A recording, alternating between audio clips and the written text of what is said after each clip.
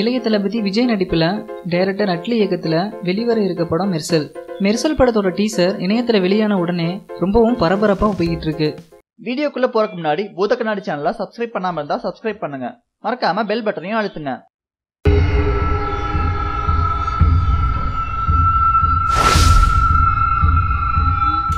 மெர்சல் திரைப்படம் வர தீபாவளிக்கு வெளியிடுறதா படக்குழு அறிவிச்சிருந்தாங்க. இந்த நிலையில டைரக்டர் ராஜேந்திரன் சென்னை ஹைகோர்ட்ல ஒரு வழக்கு பதிவு செஞ்சிருக்காரு. இயக்குனர் ராஜேந்திரன் அந்த பதிவில் என்ன சொல்லியிருக்காருன்னா கடந்த ரெண்டாயிரத்தி பதினாலாம் ஆண்டு தான் மெர்சலைட்டன் என்ற தலைப்பில் ஒரு படத்தை ரிஜிஸ்டர் பண்ணியிருந்ததாகவும் மெர்சல் என்ற தலைப்பில் எந்த ஒரு விளம்பரமும் பண்ணக்கூடாதுன்னு அதில் பதிவிட்டிருக்காரு. அதனால நீதிபதி வருகிற அக்டோபர் மூன்று வரைக்கும் மெர்சல் என்ற தலைப்பில் எந்த ஒரு விளம்பரமும் பண்ணக்கூடாதுன்னு உத்தரவிட்டிருக்காரு.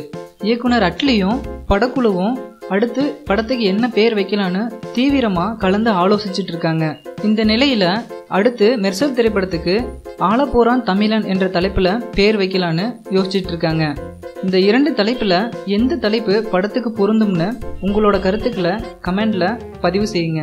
மேலும் பூத கண்ணாடி சேனலை சப்ஸ்கிரைப் பண்ண மறந்துடாதீங்க.